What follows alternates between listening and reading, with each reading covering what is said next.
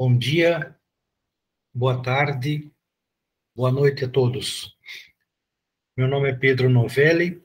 O título da minha apresentação é Da pobreza da propriedade à propriedade da pobreza. o Ricardo da cidade pediu para ligar a câmera, eu liguei, mas vocês não verão coisa alguma porque ela não funciona.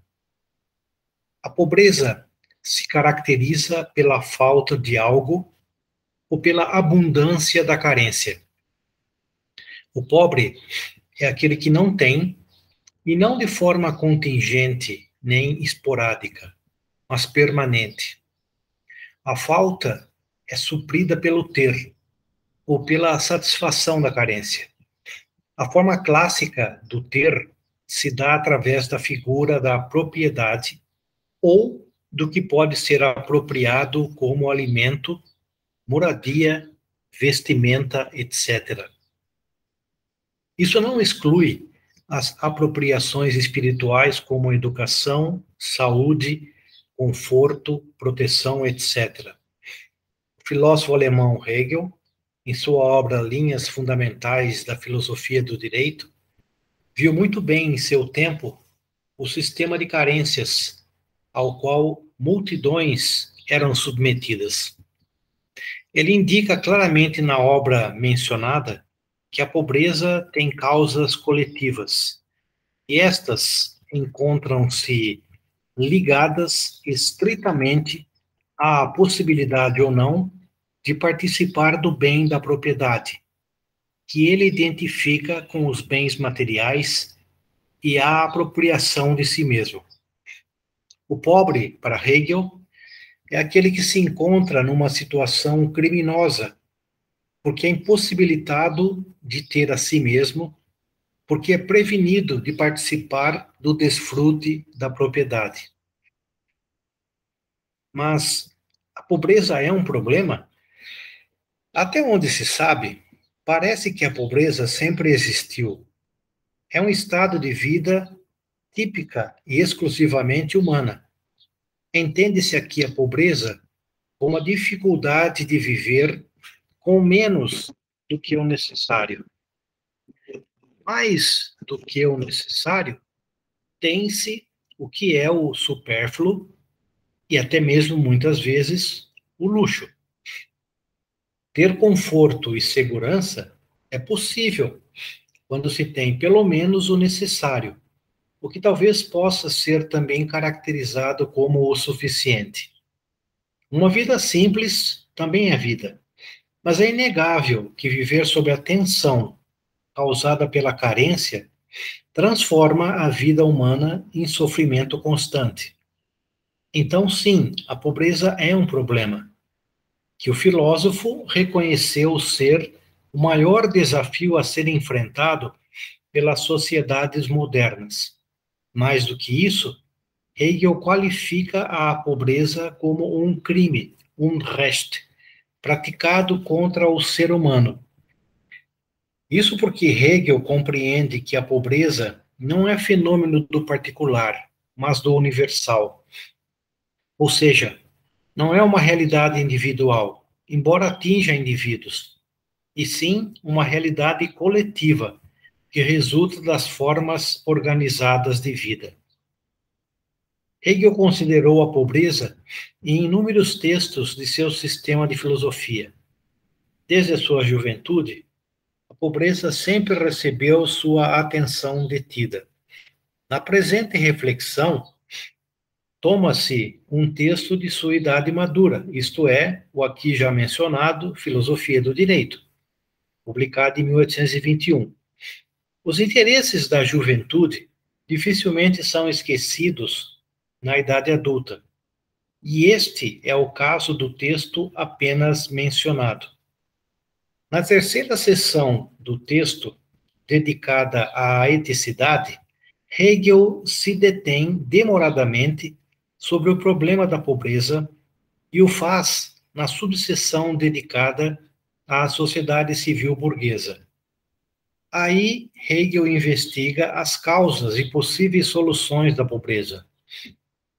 No entanto, as sessões que precedem o momento da eticidade já introduzem o problema da pobreza, como é, por exemplo, o caso dessa reflexão na sessão sobre o direito abstrato. Tal sessão seria, aparentemente, a apresentação da formalidade do direito, através da exposição das figuras da propriedade, do contrato e do ilícito ou crime. Na verdade, a aparente formalidade significa para Hegel o que já seria um compromisso histórico dos Estados modernos ao assumirem o direito à propriedade, sua regulamentação através de um contrato legal com validade reconhecida e a assunção do crime na desconsideração do direito. Dedica-se especial atenção nessa reflexão à figura da propriedade, pois esta é tomada por Hegel como a realização do indivíduo num ser aí. Hegel permite identificar os mandos e desmandos sobre a propriedade como uma causa importante da pobreza. O que Hegel compreende por propriedade também possibilita uma maior e melhor compreensão da causa da pobreza. É interessante mencionar que não é determinante para Hegel que a propriedade seja privada, visto que ele vê o significado disso, assim como a sua importância.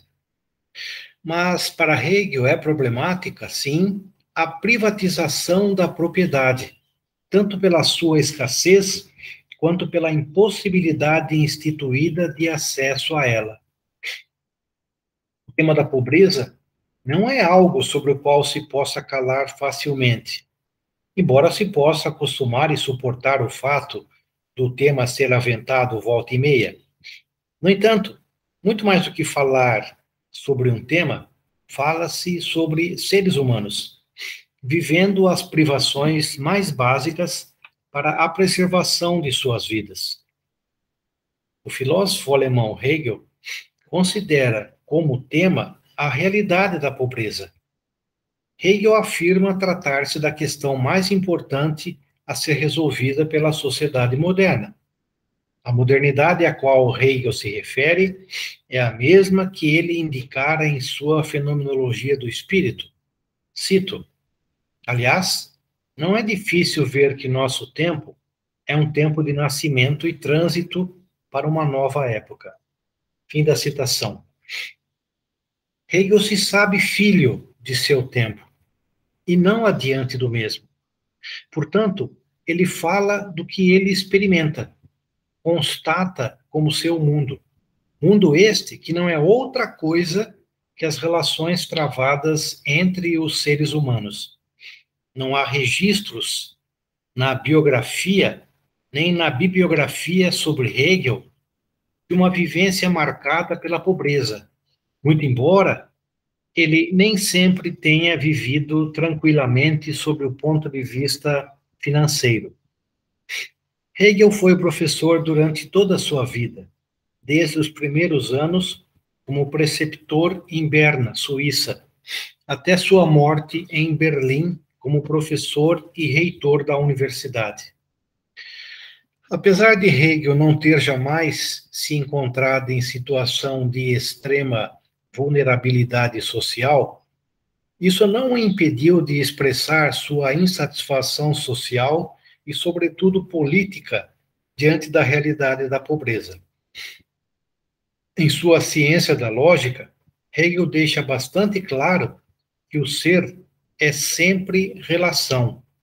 E que, muito embora o momento da negação também implique em afirmação, a afirmação, por sua vez, nem sempre acolhe em si a negação. Hegel sabia muito bem que a diminuição de qualquer ser humano indicava a diminuição de todo ser humano. Para Hegel, é intrigante a questão de como é que se pode tolerar tal situação. Isso é evidenciado pelos escritos de juventude de Hegel pela sua adesão aos ideais defendidos pela Revolução Francesa, na Declaração Universal dos Direitos do Homem e do Cidadão. Hegel teria comemorado, até o fim de seus dias, os eventos da mencionada revolução. Na idade matura, Hegel expressou ainda mais suas convicções políticas que são explicitadas em sua filosofia do direito. A pobreza não aparece tratada como questão marginal, mas que marginaliza. Hegel chega a dizer que o pobre é aquele que não possui nem a si mesmo, pois não tem ao seu alcance os meios para a sua subsistência. Na filosofia do direito, Hegel situa a pobreza na seção dedicada à eticidade, ou no momento da coletividade, no qual o sujeito se dá enquanto sujeito, porque se objetiva nas relações estabelecidas com outros sujeitos. Na mencionada seção, Hegel trata da pobreza na subseção dedicada à sociedade civil burguesa.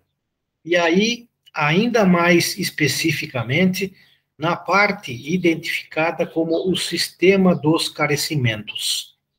O termo Bedürfnis indica uma necessidade, um desejo de receber algo que se precisa, algo que deve ser, de qualquer modo, obtido.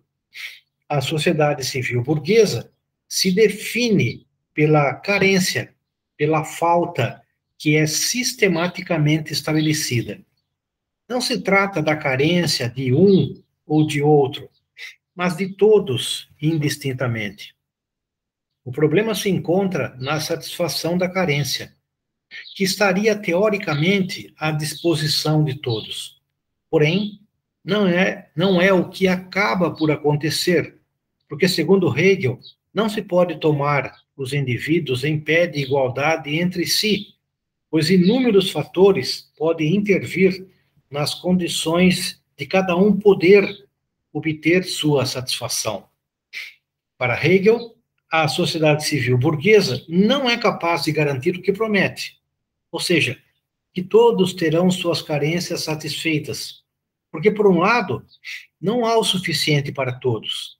E, por outro lado, todo e qualquer excesso, através de uma superprodução, também gera um grande número de excluídos, que perderão seus postos de trabalho por haver mais oferta do que procura, e, portanto, menor necessidade de produ produção. Quanto menor a produção, tanto menor é o trabalho exigido. A sociedade civil burguesa impõe a determinação do social sobre o político, ou do interesse particular sobre o universal, fazendo com que um político tenha sua razão de ser na garantia e proteção do social. O social é que dita os procedimentos que devem ser adotados. E o político não tem outra função que não seja referendar o indicado pelo social. Nesse sentido, a pobreza tem para Hegel causa e origem social, mas não enquanto ação de indivíduos isolados, e sim de indivíduos que se articulam por algo comum, que é o interesse. Contudo, não vislumbrando o interesse pelo comum. É por esse motivo que Hegel entende que a solução da pobreza não pode ser encontrada no domínio da sociedade civil burguesa, uma vez que esta precisaria deixar de ser o que é. Hegel é aqui bastante duro em relação à sociedade civil burguesa, porque esta é, em sua essência, geradora da exclusão e da desigualdade. Em outras palavras, a sociedade civil burguesa somente pode ser o que é se ocasionar a carência e, por conseguinte, a desigualdade. Entretanto, Hegel é mais dialético do que se poderia gostar, o que faz compreender que, contraditoriamente, a sociedade civil burguesa já é responsável pela resolução da pobreza em seu campo, ao exigir para si um controle tal que inaugura o surgimento do Estado. Eu cito: o princípio desse sistema de carecimentos tem, enquanto particularidade própria do saber e do querer, a universalidade sendo em si e para si, a universalidade da liberdade apenas abstrata. Por conseguinte, enquanto direito de propriedade dentro de si, mas que aqui não é mais apenas em si, porém em sua efetividade vigente, enquanto proteção da propriedade mediante a administração do direito. Fim da citação.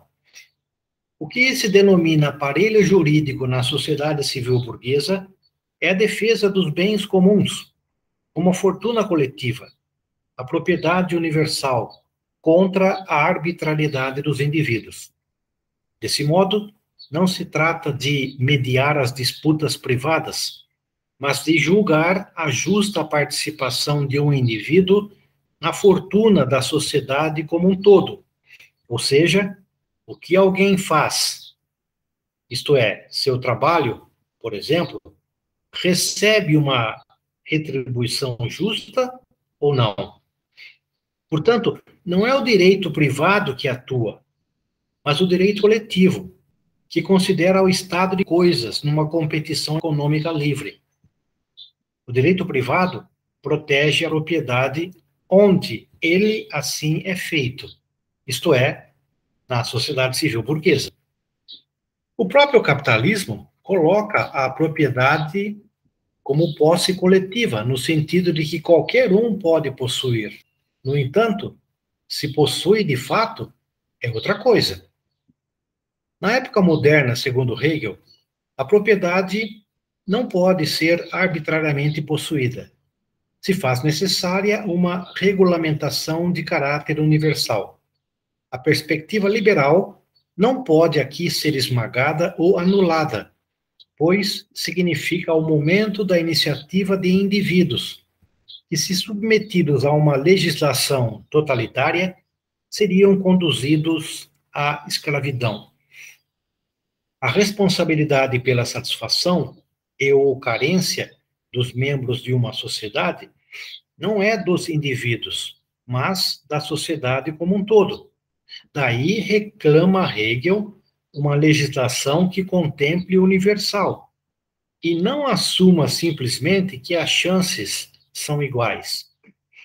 O sujeito dessa justiça é ainda abstrato, porém menos do que o sujeito do direito abstrato, porque ele já foi educado pelo trabalho. Seus méritos são reconhecidos pela sociedade, pois o que conquistou é fruto de seu trabalho que contribui para a fortuna coletiva. Nesse sentido, ele não é mais considerado por ser judeu, católico, alemão ou italiano, mas como ser humano que desempenha uma função determinada na sociedade. Hegel vê o cosmopolitismo como uma invenção do pensamento abstrato burguês, que é superado pela pertença ao Estado que transforma o burguês em cidadão. Para Hegel, o sistema jurídico burguês deve se submeter ao Estado histórico concreto, que regula as relações de produção e consumo. Os seres humanos somente são capazes de criar leis quando suas necessidades são satisfeitas. As leis sociais não são jamais absolutas, mas se realizam num contexto histórico que as permitem, formam e deformam.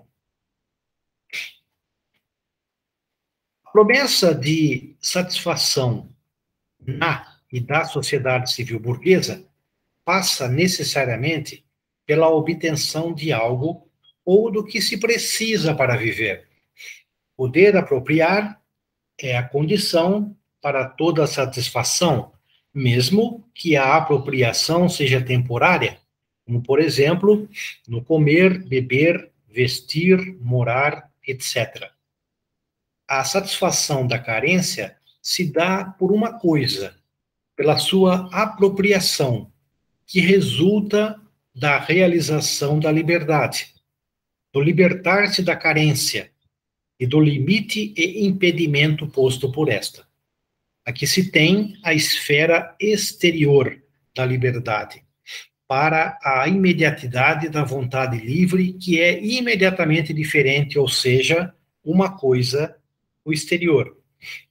Cito: a pessoa precisa se dar uma esfera externa de sua liberdade, a fim de ser enquanto ideia. Fim da citação. A racionalidade da propriedade reside não na satisfação da necessidade, mas na suprassunção da personalidade. Esta aparece aqui pela primeira vez, mesmo que seja por meio de uma falsa realização, isto é, uma coisa. A imediatez da propriedade encontra-se na imediatez da coisa. Trata-se da coisa que não é voluntariamente quista. Portanto, versa-se sobre coisas não através do querer, do contrato, enquanto objetos cientificamente, religiosamente, artisticamente quistos enquanto, enquanto tais. Pela coisa, a pessoa aparece como apropriadora absoluta do direito. Contudo, como a propriedade é sabiamente posta por Hegel no momento do direito abstrato, fica então revelado o caráter abstrato universal da pessoa. Eu cito no direito abstrato, que somente tem por objeto a pessoa como tal, e também por isso o particular, que pertence ao ser aí e à esfera de sua liberdade, somente na medida em que esse particular é algo de separável, é imediatamente diverso dela.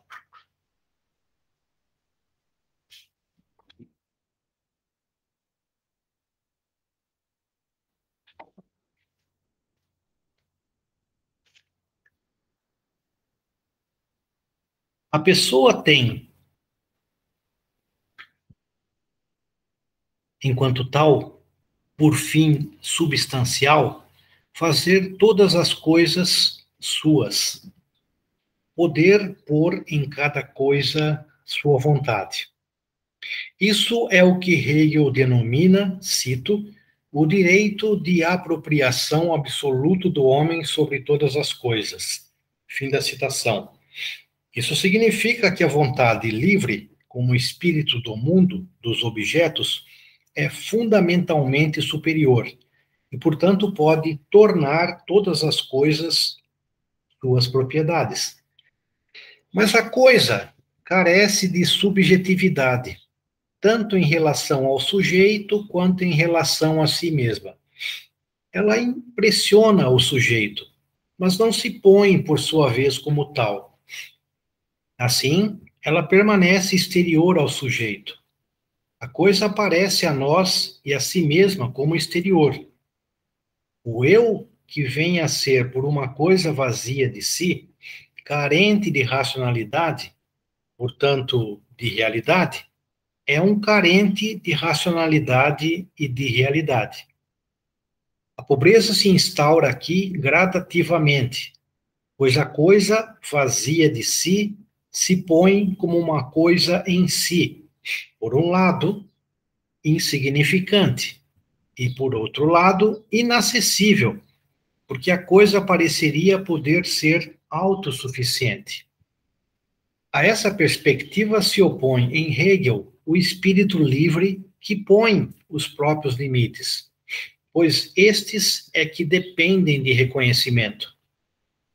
A aparência de independência somente fica para a consciência contemplativa e representativa. Porém, não tem consciência, consistência alguma para a vontade livre. O agir da vontade livre, de se apropriar de tudo, não permite o caráter de desconhecimento aplicado à coisa. Eu cito: Todas as coisas podem se tornar propriedade do homem, porque essa vontade livre, como tal, é em si mesma. Mas o contrário não possui essa propriedade. Apropriar-se, basicamente, significa apenas manifestar a soberania da minha vontade contra a coisa e mostrar que ela não é por si só, não é um fim em si mesma. Fim da citação. Mesmo no direito abstrato, Hegel mostra que o ser humano é que determina a coisa, apesar da coisa se manifestar como independente e submeter o ser humano a si. Na verdade, Hegel faz notar que é o ser humano que submete a coisa, porém não tendo sempre clareza e consciência disso, o que é o mesmo que dizer que a consciência de si ainda não se deu porque não se tornou consciência para si. A coisa posta como independente e assim posta pelo ser humano faz com que ela seja o centro e toda a vida deva convergir para ela de modo a existir.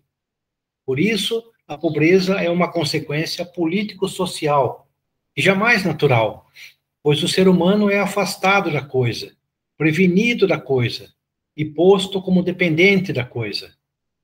O ser humano é apresentado para a coisa e somente é ser humano pela coisa.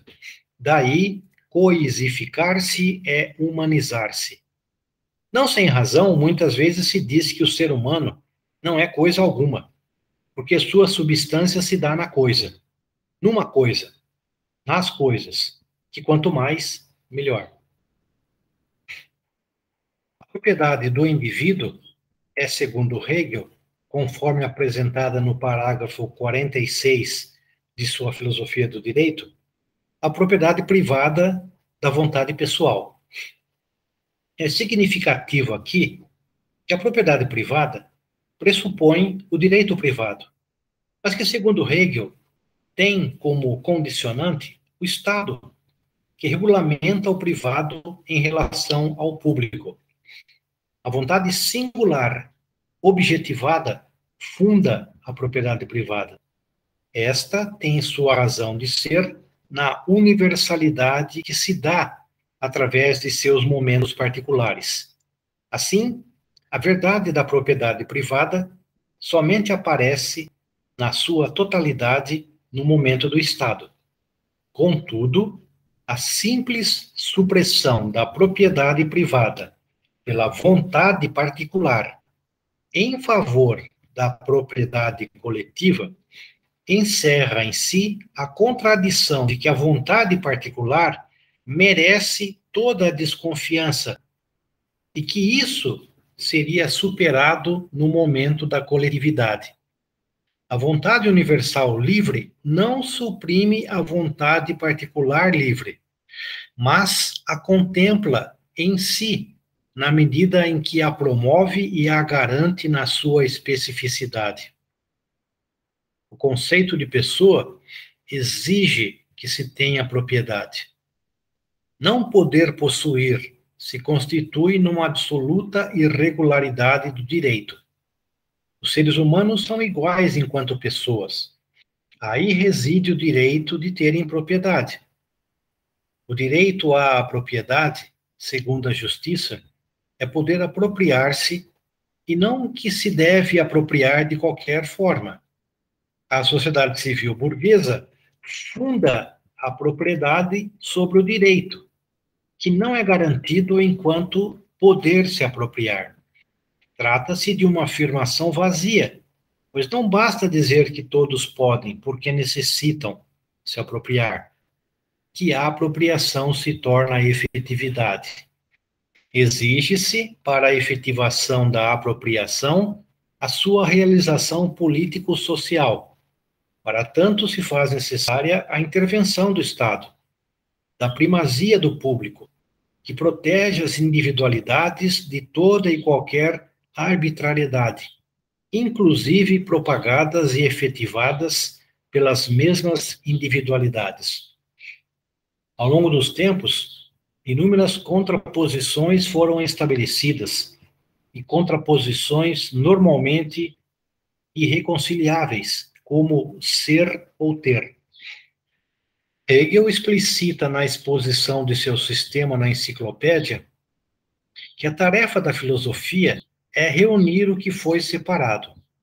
Nesse sentido, segundo Hegel, não basta nem somente o ser, como ele mostra muito bem em sua ciência da lógica, afirmando que o ser vem a ser o que é como essência e como conceito. E não basta somente nem o ter, por não resumir em si toda a expressão da satisfação, nem a plena realização da liberdade. Hegel empenha-se em destruir a falsa dicotomia posta entre ser e ter, enfatizando que ser exige ter, assim como ter exige ser.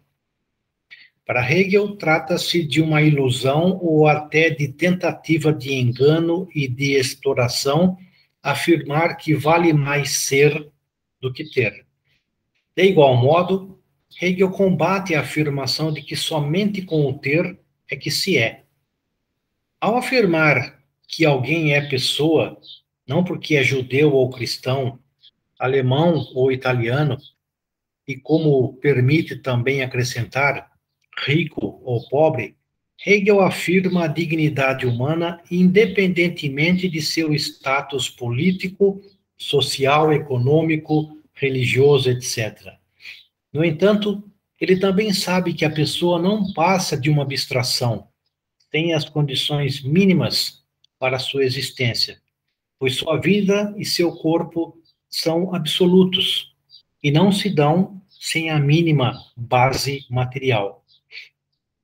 É nesse contexto que Hegel situa a propriedade, ou seja, como uma das formas mais básicas de realização da pessoa, que não somente é uma interioridade, mas também uma exterioridade. Nos parágrafos iniciais da introdução à filosofia do direito, Hegel usa a analogia da alma e do corpo, dizendo que uma sem o outro não é, não existe, não vive a interioridade aparente da alma precisa da aparente exterioridade do corpo e vice-versa. Em outras palavras, não há interioridade que subsista sem a exterioridade. Assim como o reconhecimento da exterioridade depende da identificação da interioridade. O que quer que isso possa significar, ou como se queira entender a interioridade. Mas como se deve entender a propriedade? Hegel deixa claro, ao longo da sessão dedicada ao direito abstrato, que a propriedade não se restringe a algo material, mas também engloba o produto da espiritualidade humana, aqui entendida como intelectualidade. Deve-se incluir ainda a propriedade de si mesmo. Obviamente, não como coisa, mas como senhorio de si diante de toda e qualquer possibilidade de escravidão. Hegel reconheceu, já em seus anos de juventude, a hierarquia entre senhores e servos e o tratamento que se dispensava aos últimos.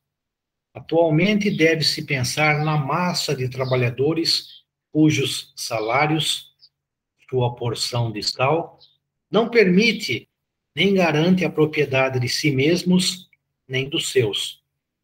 Daí, não somente a insuficiência da propriedade, mas também de propriedade, atira uma massa cada dia maior de desproprietários na vala do descarte, do dispensável. Sem poder se apropriar, o ser humano não tem como se reconhecer aí, e é ludibriado com o ser no depois, após haver investido sua despossessão no agora. Por isso, a pobreza é definida por Hegel como o despossuir do necessário para si, o que equivale a despossuir si mesmo. Ao evocar o valor infinito da pessoa, assim como seu caráter eterno, Hegel indica que a carência deixa de graçar porque não há mais lugar aí para o privado. Isso não significa para Hegel a extinção da propriedade, mas significa a universalização da propriedade, não somente como direito de todos, mas também como garantia para todos. Essa perspectiva, Hegel sabe que o direito abstrato não comporta, mas já insinua em suas entrelinhas que é no momento do Estado que tal resolução se dará. Porque, como ele mesmo afirma, as coisas do público, do Estado, não podem ser privatizadas. Não podem ser exclusividade senão do universal, aqui visto como realização de toda particularidade. Muito obrigado.